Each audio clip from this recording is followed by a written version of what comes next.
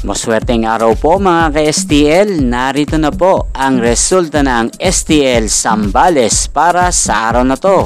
Sana po manalo po kayo!